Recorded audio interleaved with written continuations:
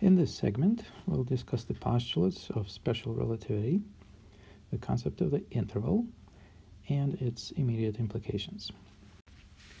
The basic postulate is that uh, laws of nature are identical in all inertial reference frames.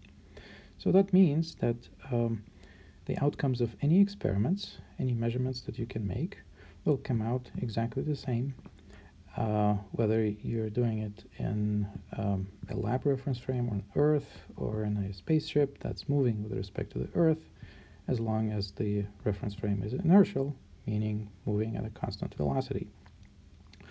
Um, so this is quite familiar from classical mechanics, so it may seem like there's really nothing new here, but um, new things arise when we apply uh, this postulate to the um, uh, to the world in which interactions between particles are not instantaneous. Experimental observations tell us that um, no signals can propagate faster than the speed of light. That includes um, all the fundamental interactions. So if you have uh, two charges at a distance and you wiggle one of them, then the other will not know about it until a certain time that depends on the distance. And um, um, there's a fundamental constant, the speed of light, that determines how long it will take for the uh, um, detector to know about the um, emission of the signal uh, at, at some distance. So um, if we apply the basic postulate that all laws of nature are identical in all inertial reference frames, that means that this speed of light c should be the same in all inertial reference frames. Now, um, this fully agrees with experiment, but um, it uh, contradicts the classical notion of absolute time. Absolute time means that um, clocks operate the same way in all inertial reference frames. There's a um, unique time that can be assigned uh, to any event, well, subject to the uh, global uh, shift of time. And then, um, um, because this time is absolute, that means if two events are simultaneous in one reference frame, they will be simultaneous in any other reference frame. If something, something happens in the future with respect to uh, something else, then this relation is the same in all reference frames, same thing with the past. So time is really um, um, uh, independent of, uh, of the choice of the reference frame and, and um, serves as some uh, global variable that doesn't care about the motion of uh, reference frames with respect to each other. Now, this notion of absolute time um, contradicts um, the uh, um, the fact that the speed of light is the same in all reference frame, as it should be, uh, based on the uh, relativity postulate. So let's consider the following scenario. So consider the following situation. Here we have two reference frames. There's a reference frame K, and the reference frame K prime. The x-axis for the two coincide, but the reference frame K prime is moving with respect to K with the velocity v in the direction of the x-axis. So the two axes, x and x prime, are always uh, the same, but they move with respect to each other. So let's now consider the following experiment. So at some point on the x-axis, some event occurs at a certain time. So let's call it event F, which could be, for example, turning on of a, of a flashlight. Let's now consider two points at the same distance from F to the left and right on the x prime axis. Call them A and B. So these two points, along with the point F, are all at rest in reference frame k prime. So if we are an observer in, in k prime, one at A and one at B, so nothing is moving anywhere, we're at the same distance at F, so obviously we'll observe turning off on of a flashlight at the same time, right? It will take the same time for the signal from point F to reach points A and B. Now, how does this experiment look from the point of view of observers in reference frame K? Now, um, points A and B are both moving in the x direction with some velocity, right? So point A is actually approaching the point where the light was emitted, and po point B is moving away from it. So clearly, um, the observer A will see the arrival of the signal from point F earlier than observer B. Um, so far we cannot calculate uh, how much earlier because we don't know the relativistic uh, velocity addition law, but we know these two events, the arrival of light to point A and point B, are not simultaneous from the point of view of the observers um, in point K. They will arrive at A and B at different times. So um, this is a contradiction with the classical notion of absolute time. Events that are simultaneous in K prime are not simultaneous in K.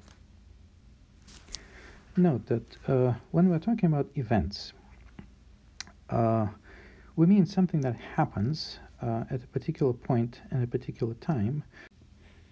So in this case, uh, we could talk about two observers um, placed at points A and B, and at a particular time they see the light and they make a record of it. So the conclusion of this exercise is that um, simultaneity of two events is frame dependent.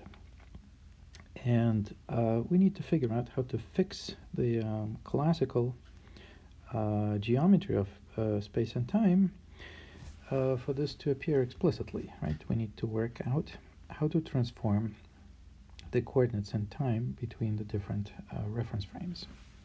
So this will be our next task.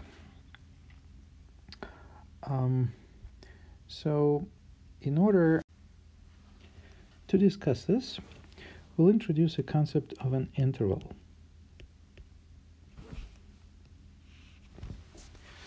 So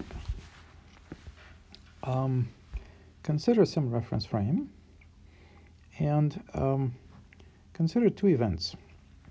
So events 1 and 2, whatever they are. And um, event 1 has coordinates um, r1 and time t1. And event 2 occurs at point r2 at time t2. So we will introduce an interval as the following expression. We'll introduce the interval between the events 1 and 2 as c squared t2 minus t1 squared minus r2 minus r1 squared. Okay? So why is this a useful thing? We will see that in fact um, this quantity is an invariant.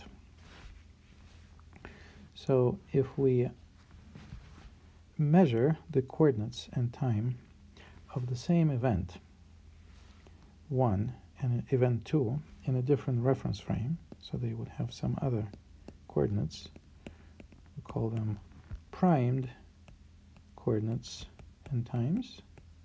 So those are measured in a different reference frame, right? So this would be a reference frame k prime, and this would be a reference frame k. So the interval, as we will see, um, is the same whether we express it through primed coordinates or unprimed coordinates. So generally speaking, you could expect that this S12 prime squared, defined in this way, would be different from S12 squared. If you just took some random expressions, they would certainly be different. But it turns out that uh, the interval is invariant. So how do we see that? Well, first, um, let's consider two events that represent the um, um, emission and um, observation of a ray of light. Okay, so uh, event one and uh, is the uh, emission of light. So, for instance, we take a flashlight and we blink it. And event two is the arrival of the signal at some other point. Okay, so uh, what can we uh, deduce from this? Well, um, both reference frames here are assumed to be inertial. Okay, so um, the distance um, between um, points R1 and R2 is uh, R2 minus R1. Well, if you square that, that's the square of the distance.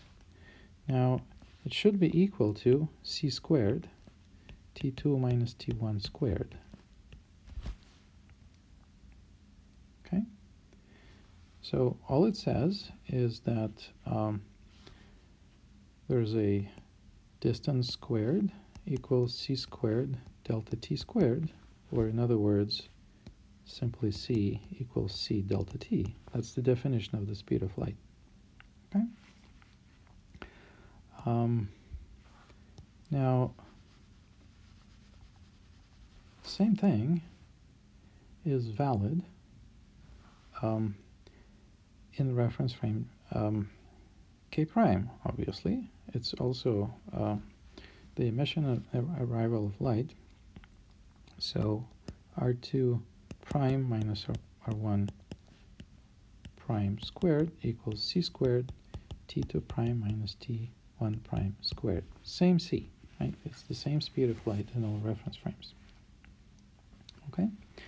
Now, the uh, S12 squared, if we use the definition and we substitute this equality, we'll find that S12 is 0 and of course S12 prime squared is also 0. Okay? So the, uh, the conclusion that we can make here is that if S12 squared is 0 in some reference frame,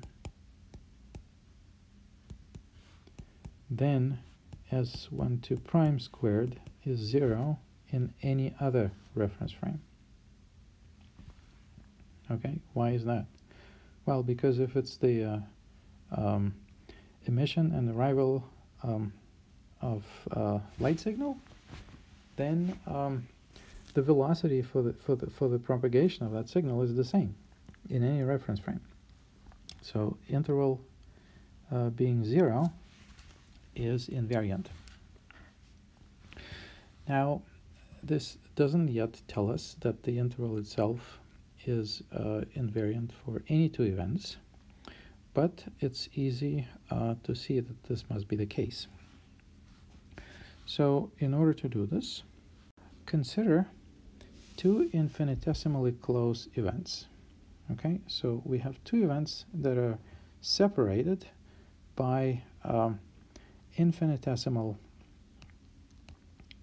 distance and infinitesimal time. Okay, so uh, that's the uh, event 1 and event 2 um, close in both space and time. So then the differential ds squared can be written as c squared dt squared minus dr squared and ds prime squared is equal to c squared dt prime squared minus dr prime squared. Okay, so this is just by definition we apply it to, to two events that are very close to each other. Now if it's not entirely clear what it means, let's write it in full glory dt squared and then here's dx squared minus dy squared minus dz squared. That's the meaning of dr squared. Now, ds squared and ds prime squared are both differentials of second order. So they must be proportional to each other. So let's call this proportionality lambda. Now lambda should reflect the transformation of coordinates um, and time between reference frame k and k prime where they measured. So what can lambda depend on? Now, um, so we have some reference frame k, some reference frame k prime, and uh, one is moving with respect to each other with some velocity. Now, because space is isotropic, uh, which means there's no uh, preferred direction, um, or the, the, the properties uh, don't depend on the orientation of, of, of, um, of the experimental apparatus in absolute space.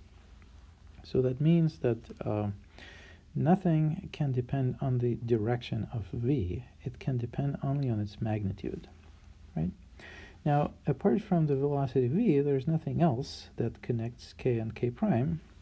So this means that um, lambda has to be some function of v.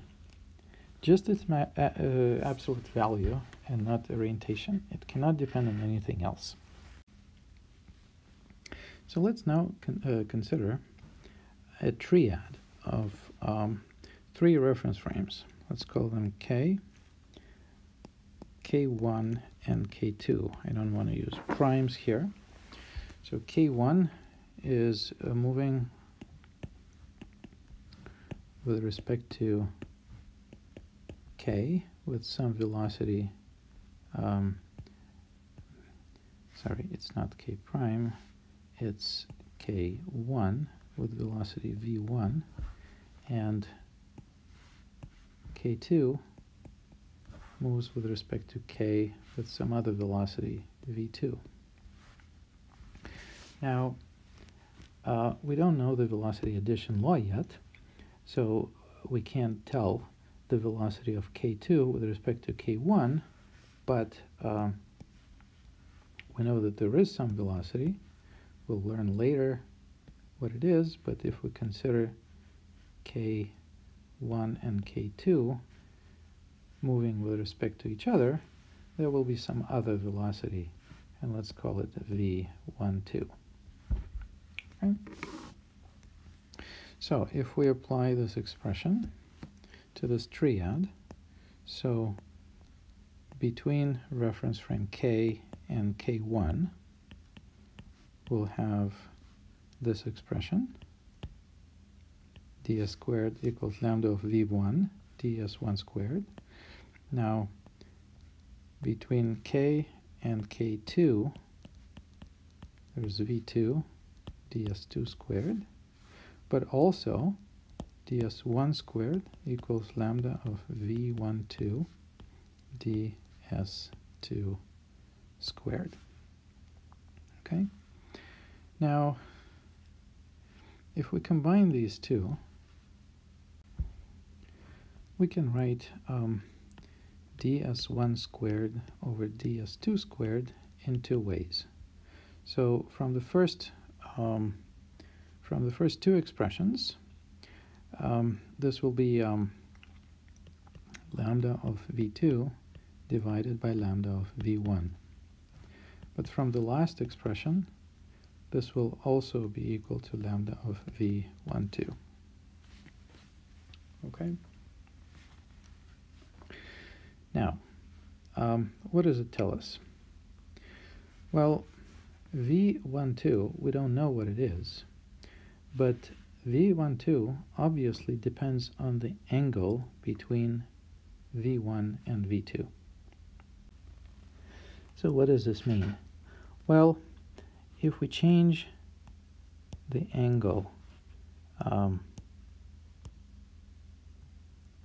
between v1 and v2. Um, so this expression stays constant while v12 changes. So the argument of lambda changes, but the function should stay constant, right? So this tells us that lambda of v must be a constant. But if it's a constant, here's the same expression, so that means lambda of v is actually simply 1. So we proved that ds squared is equal to ds prime squared in any other inertial reference frame. Now this implies um, ds is equal to ds prime.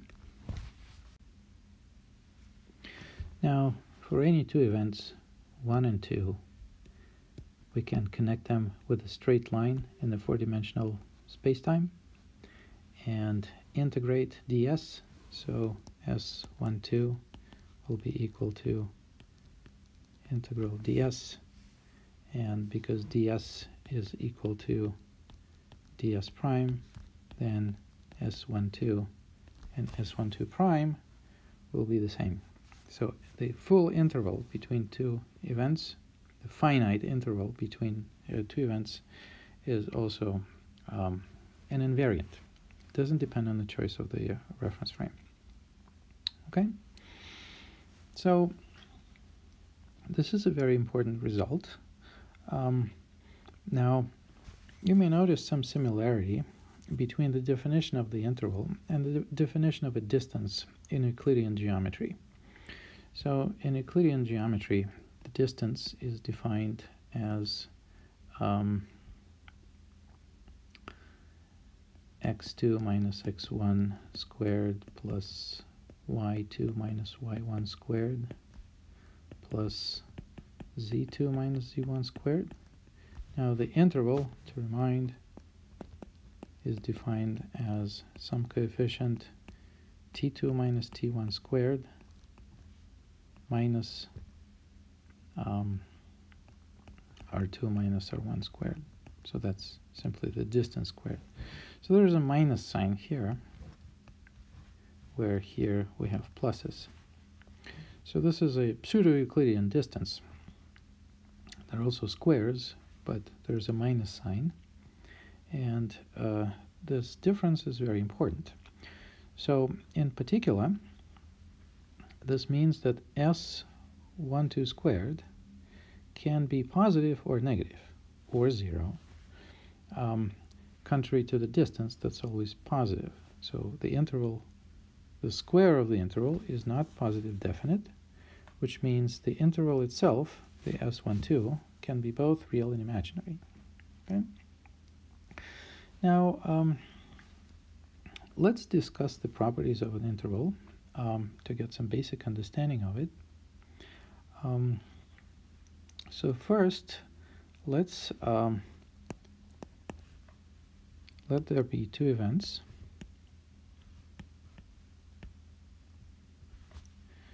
So um,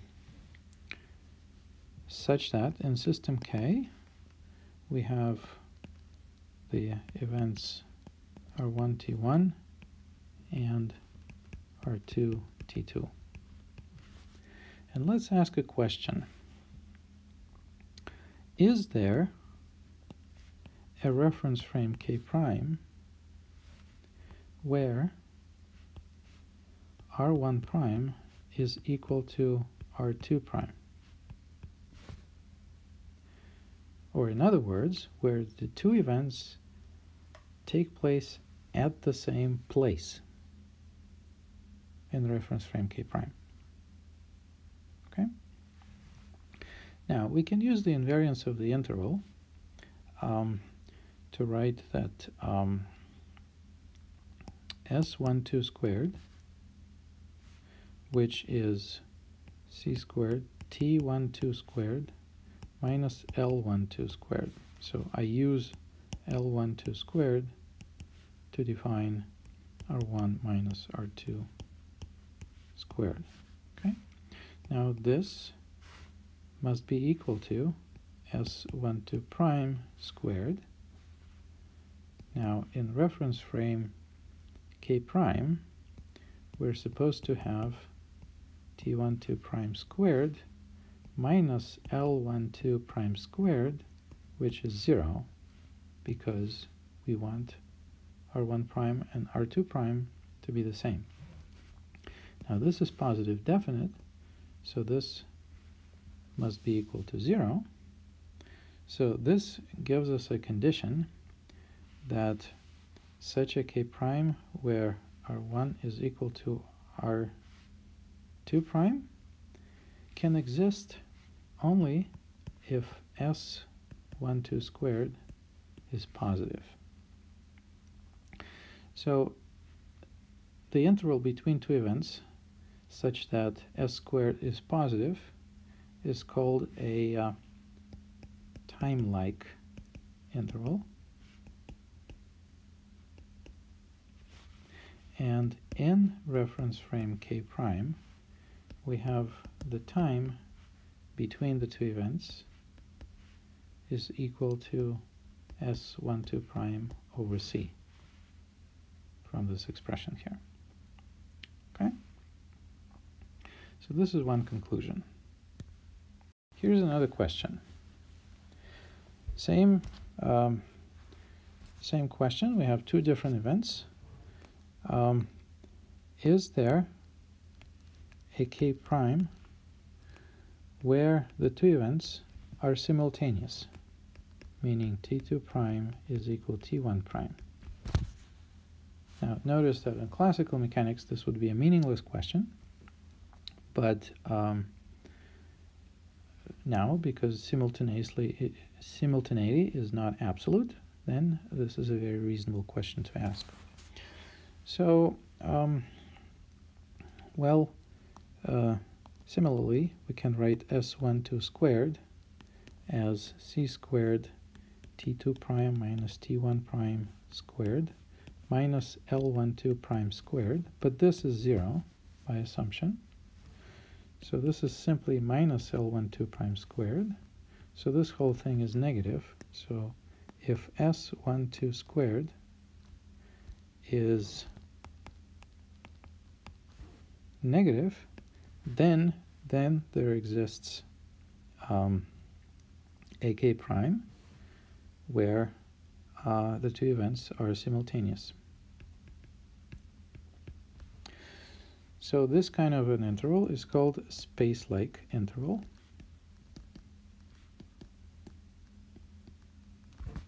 Now, the reason for these names is quite straightforward. So, um, a time-like interval is such that in some reference frame, um, the difference between the two events is only in their time. They occur at the same point. Same, like, uh, same thing here.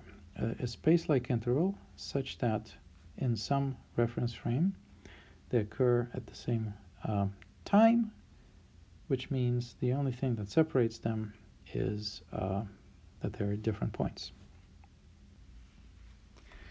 Notice that if the two events happen to the same body that is moving somewhere, so it's uh, event 1 and 2, it's an actual object that's moving, and um, this is his um, position in time um, initially, and this is at the end, then, well, because the body cannot move faster than the speed of light, then in this case, s12 squared c squared um, delta t squared minus delta r squared, it must be positive, right? Because delta r has to be less than um, c delta t. So this interval is time-like. Consider now a clock that is attached to this moving body. So this could be an actual clock that is moving along with this body, or it can be any physical process, like maybe um, a living organism that is ages uh, with time. And we're interested um, um, in figuring out uh, how much time will elapse on this clock during this uh, motion that results in this trajectory. So this uh, time that is shown by a clock in the reference frame in which it is at rest, it it's, is called proper time. So how do we figure it out? Well, um, the clock is at rest in reference frame k prime. So when we say k prime, we mean a reference frame which is inertial and moving at a certain velocity. So let's consider a point here along this um, path in uh, space-time.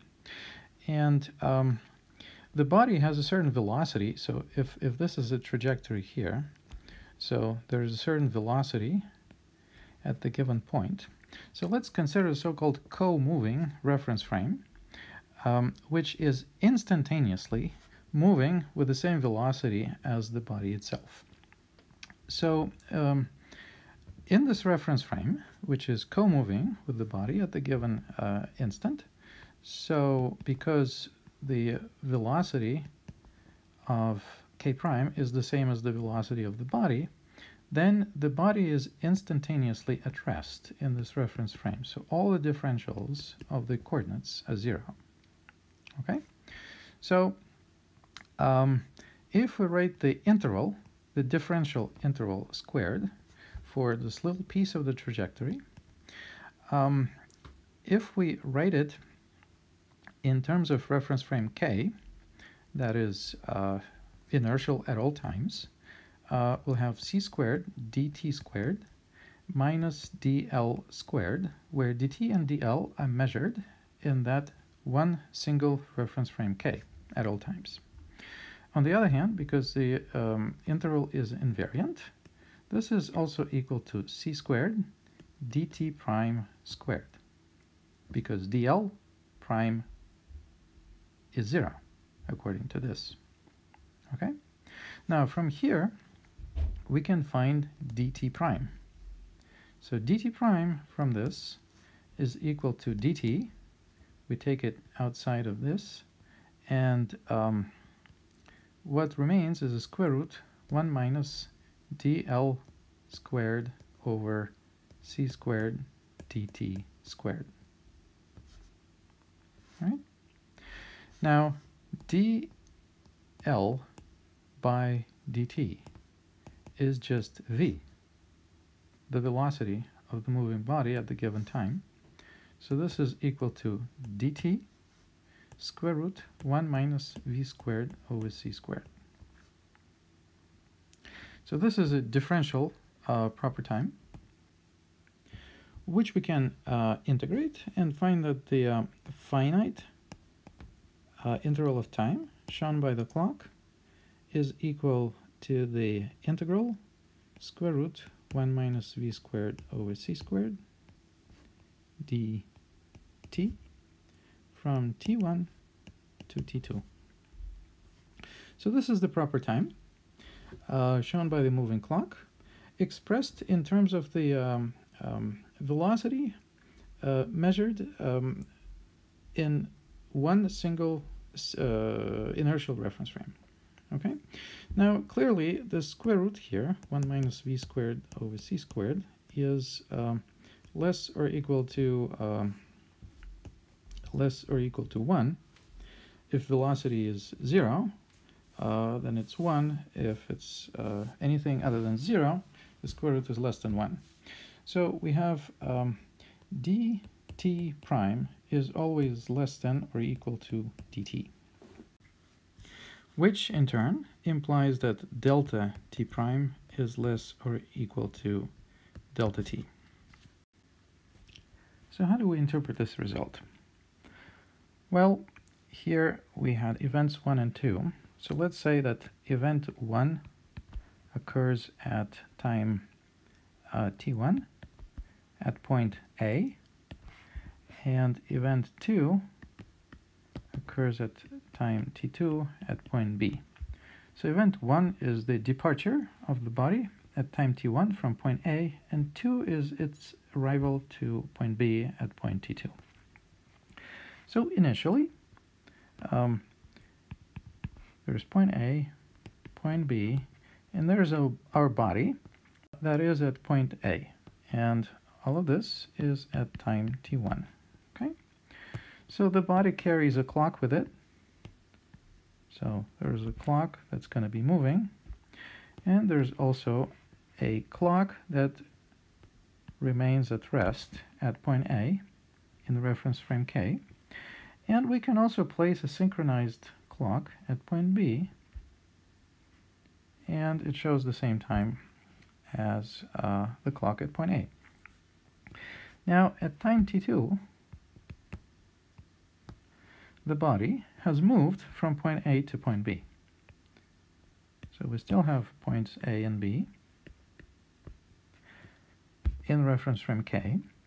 And now the body has reached point B and it shows some time that elapsed um, according to its own clock.